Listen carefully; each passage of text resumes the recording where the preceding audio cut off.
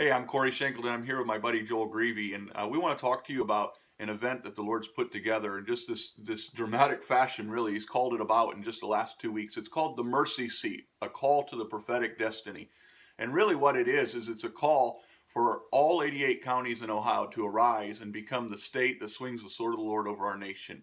And so we're calling all 88 counties to gather in Stryker, Ohio at Emerging Streams on November 5th from 8 to 8 to lift up governmental worship and a love song to Jesus.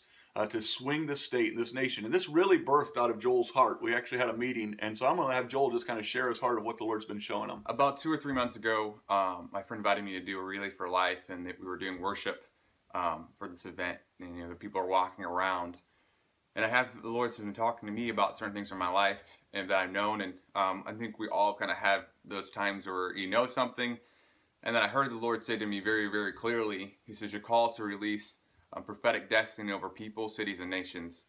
And, uh, you know, I'm like, All right, Lord. And it was like something hit me. And I was like, Okay, God, like whatever this looks like, I know I have this call. And um, you can go through all the things of like, Oh, I'm not qualified for this or whatever. But I, that was like the very marker of what we're at right now, why I'm, I'm feeling so strongly about Ohio and our nation. And with this election stuff going on, uh, there is so much division in the church. There's so much division in our nation. And no matter who wins, we need the unity in the body and we need the mercy seat of the Father to overflow. And we need to tap into that vein and we need to, we need to proclaim prophetic destiny over our nation because it's so pivotal for our, our children's children. It's not just about us it's about the next generation. So I had this picture of the, the whole state of um, Ohio being painted gold.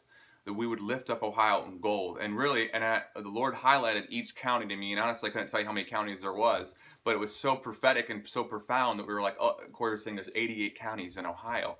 And before we really understood or knew that, we were like, let's go 8 to 8. You know, we're going to go November 5th, 8 to 8 we're going to go 12 hours, and 12 is the number of, of governmental worship. We're going to go into governmental um, intercession for, for our nation, and we're going to have time slots so that we can actually connect with people um, in each county that they can pray for their county. But we're, we're calling on you. We're, we're saying that right now, now is the time to move to drop everything that you're doing and to come. There's something Lord wants to release over your county, and we need people to come and stand in the gap. And we really feel like the Lord's saying we need to gather together in unity over our over our state, and as Ohio go, as as the nation goes. Absolutely, and so we want you to come, stand in the gap, pray for your county. We're hoping that a representative from every county will come and, and stand there. If you can't join us at Emerging Streams in Stryker, Ohio on November 5th, we're going to be trying to put out resources so that you can stand in the gap at home in your own county.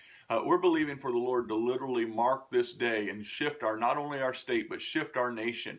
Uh, this isn't a time to to, to, to look at what is being done in the in the darkness and in the enemy's camp. This is a time to really release the heart of the Father and paint our city and our nation gold with the glory of the Lord. And with that, I also we have uh, connections with houses of prayer. I I I urge you if you can if you have a, a church, you have a, a worship team that you just want to go worship before the Father and just ask for mercy, just ask for His heart. We're not doing this as orphans, we're doing it as sons and daughters. We're going boldly to the throne.